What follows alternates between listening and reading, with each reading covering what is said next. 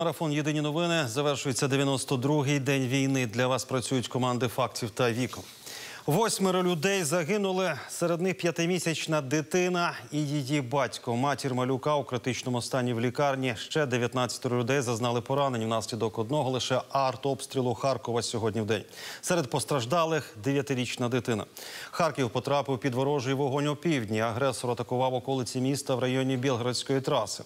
Також окупанти завдали ударів по району Павлового поля, що неподалік серед місця.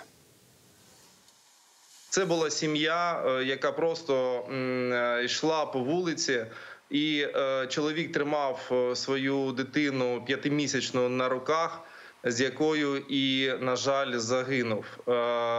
Відповідно, мати цієї дитини знаходиться у важкому стані наразі у лікарні. Значить, ворог бив з реактивних систем залпового вогню е, смерч та ураган. Крім того, із артилерії. А це вже Дергачі, передмістя Харкова, яке під обстрілами щодня. Тиші тут ані дня не було. Сьогодні внаслідок обстрілу зайнявся будинок. На щастя, рятувальникам вдалося швидко локалізувати полум'я. Однак скалки від снаряда потрапили на сусідні подвір'я. Поранило 71-річну жінку. Ще одна людина загинула. Російські окупанти ведуть е, бомбардування з ракетних систем залпового вогню.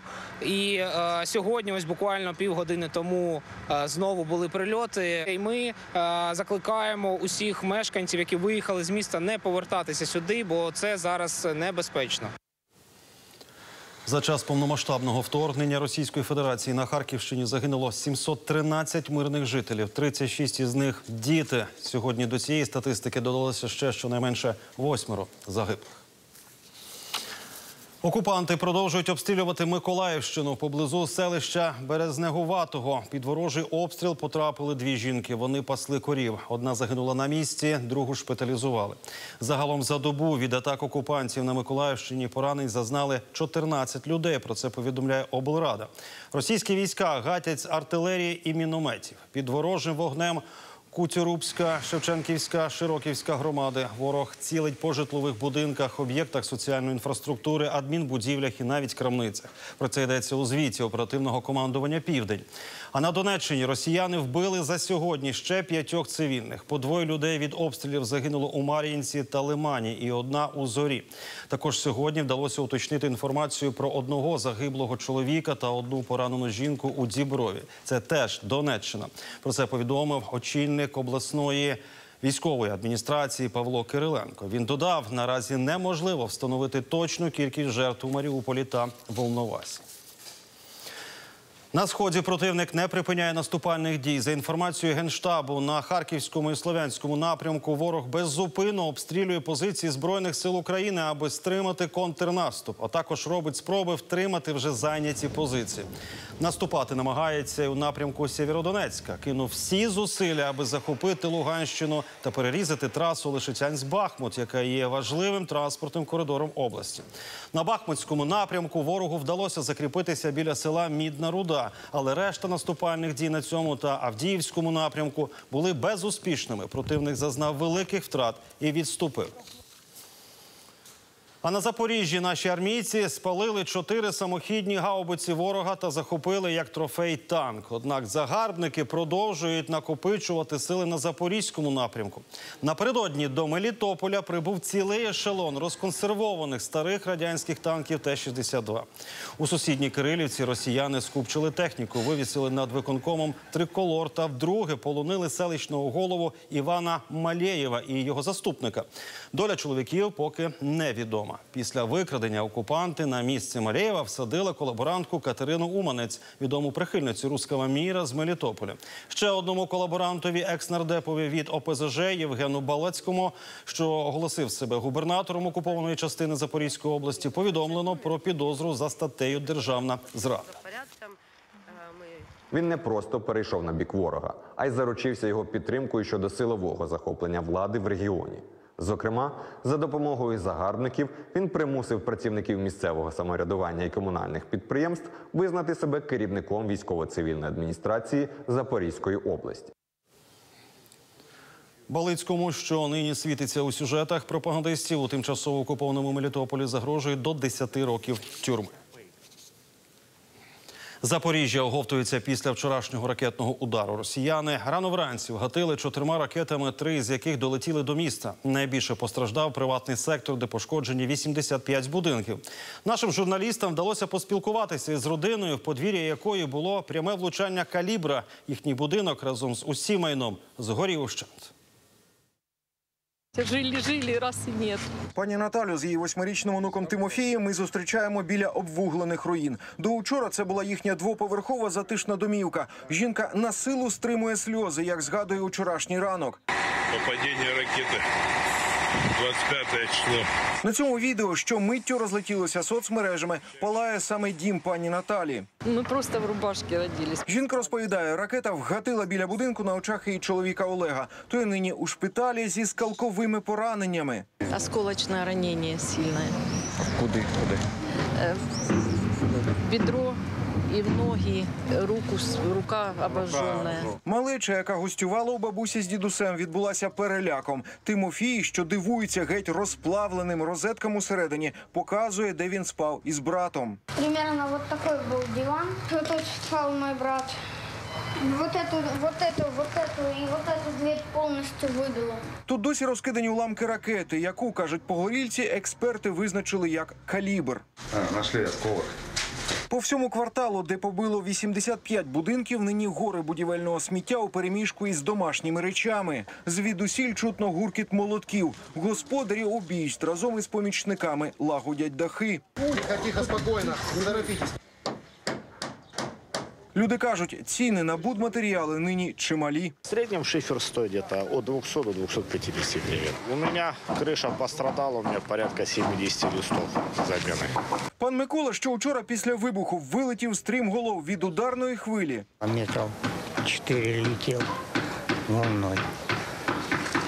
Это я все почувствовал на себе. Жаліється на потрощений дах та вибиті вікна. Аби швидко усе полагодити, його синові довелося влізти у борги. Сын взял кредит деньги в банке. И вот это сразу вчера привез шифер, стропила. Усі тут сподіваються на бодай часткове відшкодування збитків від влади та зізнаються, ладні вдавити окупантів за те, що ті коять із людьми в Україні. Я их ненавижу, просто ненавижу. Весь их мир русский. Андрій Почтів, Артем Дежанков, програма Вікна, марафон. Єдині новини. До України вперше прибула очільниця фінського уряду Санна Марін. Про її візит заздалегідь не повідомлялося. Спочатку Марін відвідала Ірпінь та Бучу, зокрема місце масового поховання людей біля церкви Андрія Первозваного. Після цього прем'єр-міністерка Фінляндії зустрілася із президентом України Володимиром Зеленським. Говорили про санкції проти Росії та військову допомогу, яку Фінляндія надає Україні.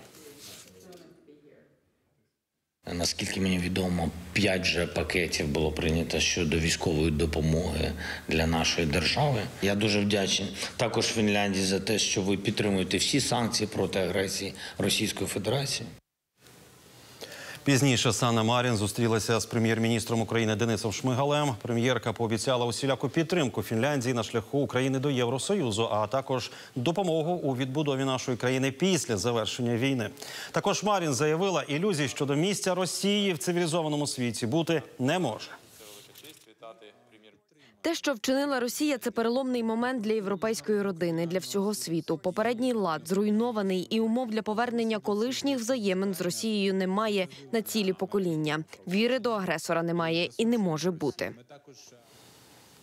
Що російську агресію не можна умиротворити, на неї слід відповідати силою, вважає міністерка закордонних справ Великої Британії Ліз Трас. Вона підготувала промову після того, як на форумі в Давосі та в деяких західних засобах масової інформації пролунали пропозиції розпочати переговори з Росією та бути готовими поступитись якимись територіями України. На думку Трас, країни-партнери навпаки мають збільшити постачання зброї Україні і посилити санкції проти Росії. За її словами, заходу треба зробити висновки з нещодавньої історії, коли Путін добився різних поступок і після цього напав на Грузію, анексував Крим та створив маріонеткові утворення на території Донбасу. Причина, за якою ми запровадили санкції, це жахлива війна, яку Путін розв'язав в Україні, і ми маємо припинити фінансування цієї війни. Ми повинні добитися, щоб Путін програв в Україні. Саме тому не повинно бути жодних поступок в санкціях, жодних умиротворень, які дозволять Путіну стати сильнішим на тривалий час.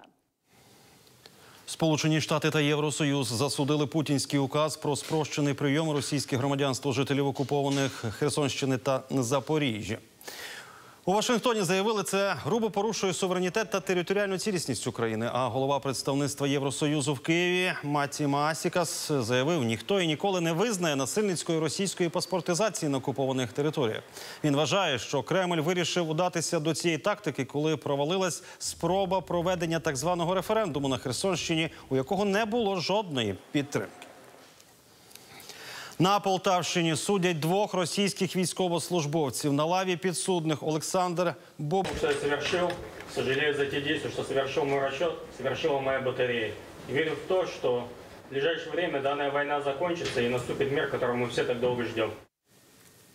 У Бородянці, зруйнованій російськими військовими, встановлюють модульні будинки. Їх Україні передала Польща. Вони слугуватимуть прихистком для людей, які втратили житло. Уже встановили 88 таких будівель на одному зі стадіонів. Туди проводять комунікації. Всередині є кухні, спальні місця. Вже навіть привезли матраси. І у будинки можуть заселитися приблизно 350 людей. Але місцева влада каже, що бажання в них жити висловили вже понад 700 родин. Тож планують встановити ще два подібні майданчики тимчасових споруд, щоб розмістити усіх охочих.